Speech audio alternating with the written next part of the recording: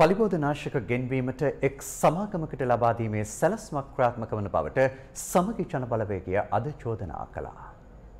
බඩයිරිඟු ගොවීන් කල්පනා කරනවා අපි ඊළඟ කන්නේ වගා කරනවද නැද්ද කියලා. තේ ගොවිය කල්පනා කරනවා තවදුරටත් අපි තේ වගාව ක්‍රියාත්මක කරනවද කියලා. දැන් එතකොට මේ පිටරටින් පාකිස්තානයෙන් එන හාල්වල මොනවද තියෙන රසායනික ද්‍රව්‍ය?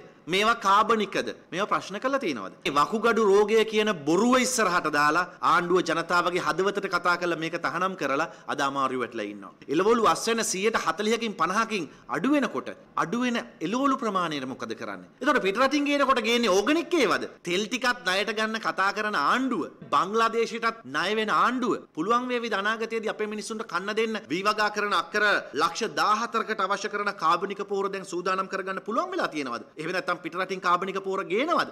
ගොවිය අසරණ කරන ගමන් තවත් ගජමිතුරෙකුට සලකන්න ආණ්ඩුව මේ වෙලාවේ සූදානම් වෙලා තියෙනවා. මේ තවත් ගැසට් එකක් රිවර්ස් කරන්න හදන්නේ. බිලියන 12ක වාර්ෂික වටිනාකමකින් යුත් පලිබෝධ ආනයනය කරන්න තමයි හදන්නේ.